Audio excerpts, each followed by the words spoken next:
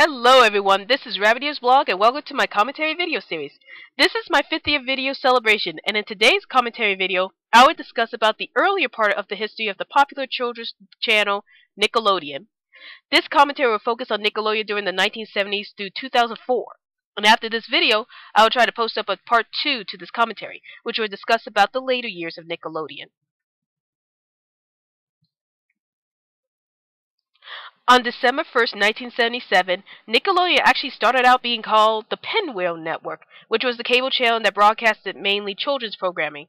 However, on April 1st, 1979, the Pinwheel Network was renamed Nickelodeon and started expanding its audience. Early on, Nickelodeon's logo was in the shape of a pinball with the Nickelodeon letters having rainbow colors. However, afterwards, the Nickelodeon pinball logo was replaced by the classic orange splat logo, which had defined Nickelodeon for many years. Later, Nickelodeon aired one of his most inspirational shows called You Can't Do That on Television, which was a Canadian sketch comedy show that introduced the famous green slime that was featured on Nickelodeon's later shows, like Double Dare and Figure It Out. In 1985, Nickelodeon created a new nighttime block called Nick at Night, which usually aired older shows such as I Love Lucy and The Brady Bunch. In 1988, Nickelodeon had their first Kids' Choice Awards show, which also aired in the same year as Nick Jr which was a block aimed at preschoolers. Throughout the 1970s and the 1980s, Nickelodeon mainly broadcasted cartoons from other countries such as Britain and Canada. It wasn't until 1991 when Nickelodeon decided to create their own brand of cartoons called Nicktoons. The first Nicktoon to ever air on Nickelodeon was Doug, which was created by Jim Jenkins, and it aired on August 11, 1991. On the same day, Rugrats, which was created by Klasky Csupo, and Ren and Stimpy, which was created by John K., premiered at a later time from Doug. And due to the huge success of these three Nicktoons, Nickelodeon decided to make more Nicktoons throughout the 90s. In 1993, Rocko's Modern Life was created by Joe Murray and premiered. And in 1994, Our Monsters, which is the second Nicktoon created by Klasky Csupo, premiered this year after Rocko's Modern Life. Around this time, original Nicktoons Doug and Rugrats were canceled, while Ren and Stimpy was the only original Nicktoon to continue running until 1996. In 1996, Nickelodeon aired two new Nicktoons, which included Hey Arnold, created by Craig Bartlett, and Kablam. And in 1997, the following year, Nickelodeon introduced a new Nicktoon called The Angry Beavers, which was created by Mitch Schauer. Even more Nicktoons were created around 1998 as there were three new Nicktoons introduced, which included Oh Yeah Cartoons, which was a series that was equivalent to Cartoon Network's The What a Cartoon Show, The Wild Thornberrys, which was the third Nicktoon created by Klasky Csupo, and CatDog, which was created by Peter Hannan.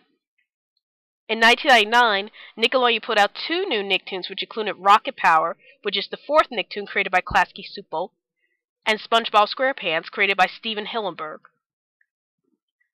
Throughout the 90s, Rugrats became Nickelodeon's most successful Nicktoon, especially after it was revived back in 1997. In 1998, Rugrats earned their own movie called The Rugrats Movie, making Rugrats the first Nicktoon to have a movie, and because of the huge success of the Rugrats movie, Rugrats ended up having two more movies, which included Rugrats in Paris and Rugrats Go Wild. Unfortunately, in 2004, Rugrats was officially canceled, making the show one of the longest running Nicktoons of Nickelodeon with a total of 12 seasons.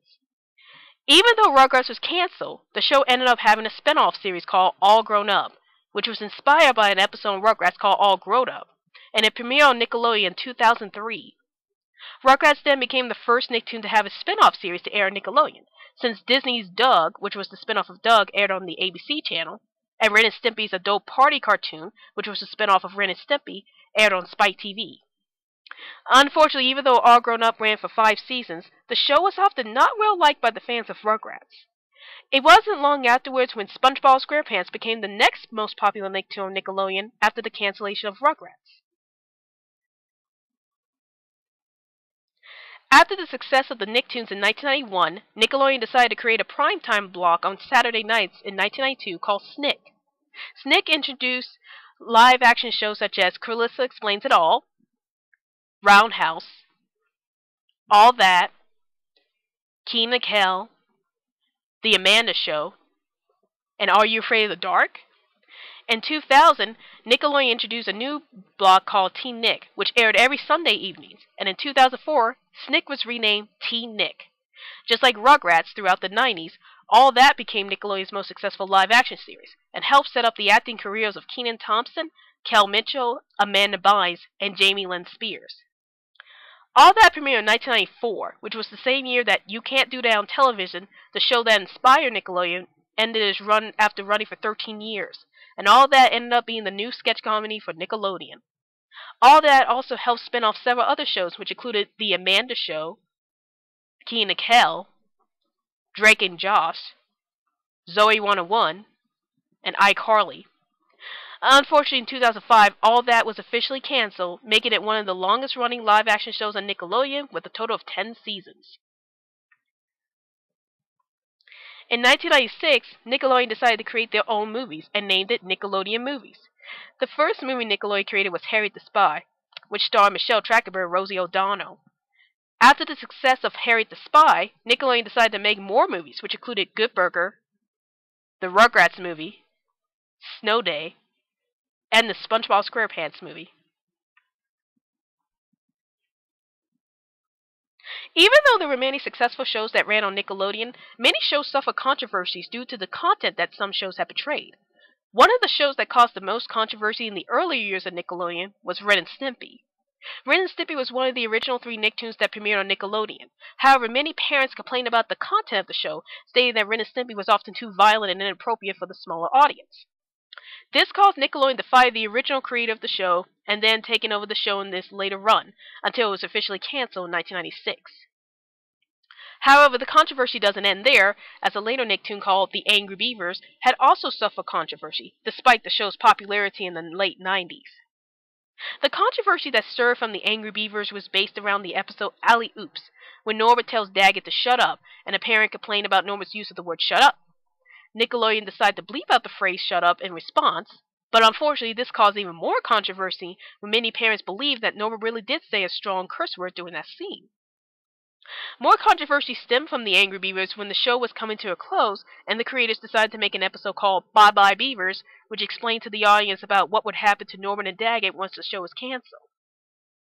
In 2001, Invader Zim, which was another new Nicktoon that premiered on Nickelodeon and was created by John Vosk, also suffered many controversies when it premiered. Many parents complained that the show was too dark and disturbing for smaller children, especially the episodes Dark Harvest, where Zim steals organs from other kids, and best friends when Zim yanks the eyeballs out of a kid's head. This then caused Invader Zim to be canceled after two seasons, much to the anger of the fans.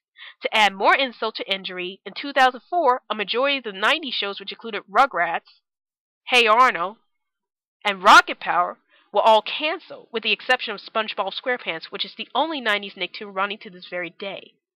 The cancellation of many of the 90s shows in 2004 had caused many fans of 90s Nickelodeon to steer away from the channel.